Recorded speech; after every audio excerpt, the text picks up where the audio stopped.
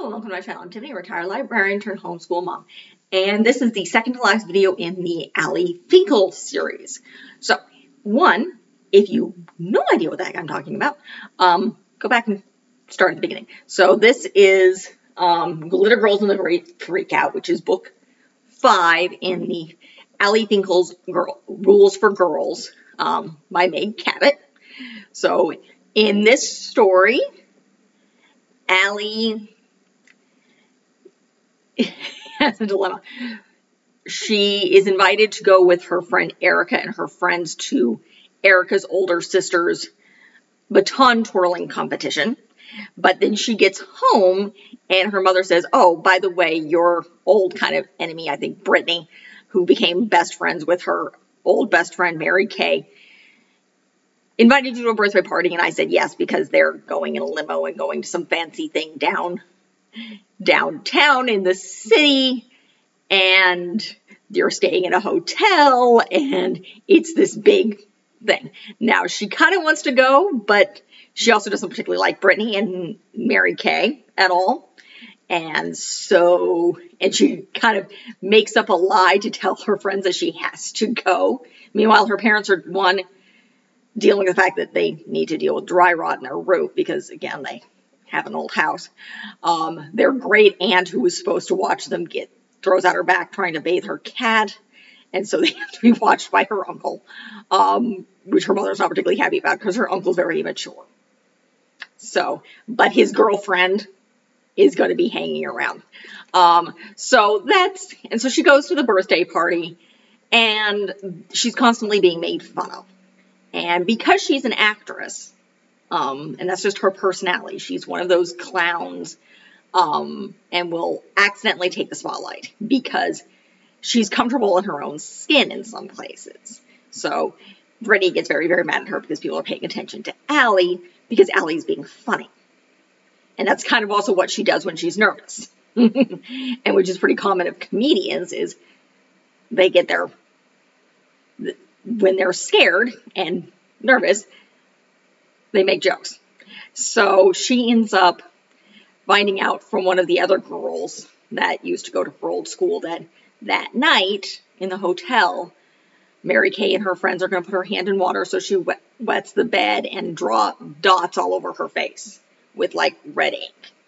And so she panics and calls her uncle and convinces him to let her to have his girlfriend who is busy studying come get her. And the girlfriend kind of lectures her. It's like, you disrupted my evening for this because you chose to do something fancy with kids who don't like you rather than doing something that you want to do with your friends. Now, she does end up, um, this is Friday night. Her parents are not home. Her parents have gone to San Francisco for a wedding. Um, for her, I think her mother's cousin's wedding which, you know, they're in Maine, so that's a long flight. But they've gone for the weekend, which is kind of odd to me, to literally fly across the country for a weekend, for like maybe three days, which is kind of funny. Um, but nonetheless, that's kind of why her parents obviously are not home.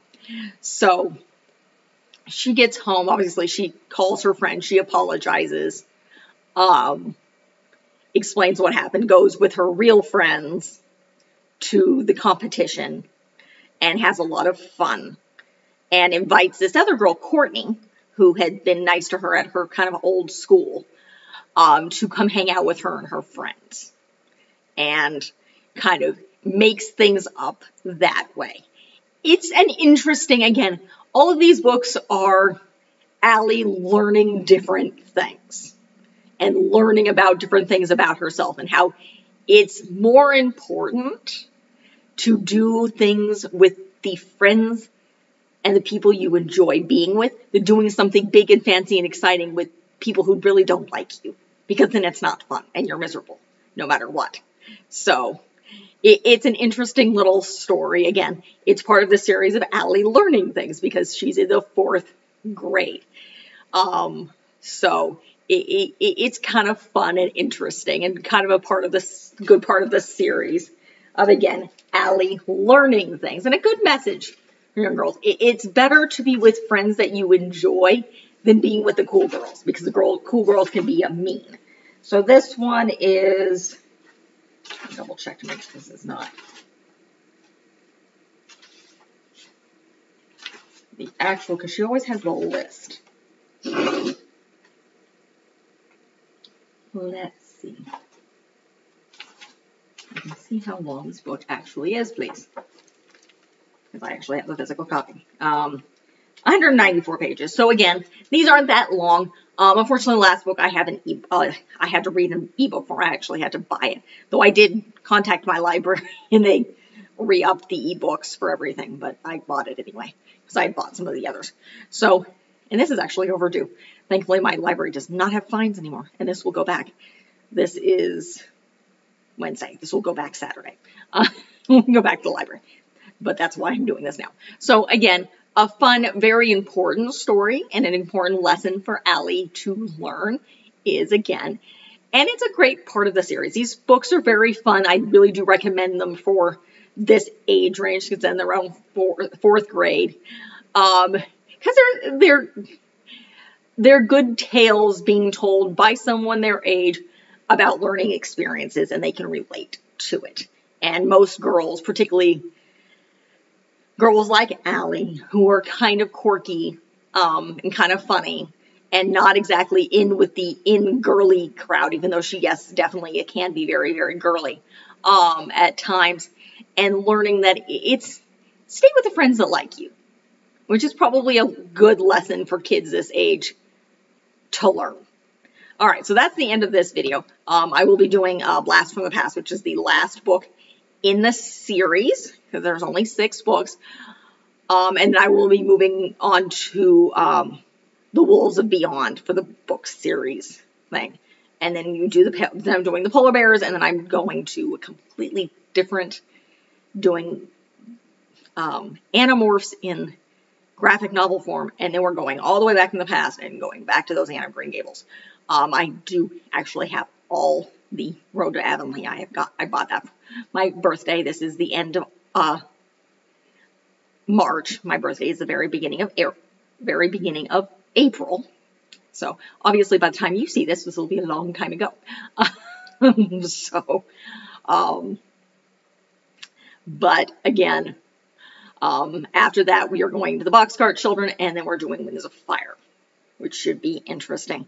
Um, and I am going into some of these blind. By that, I mean I've not read them. I don't know Animorphs.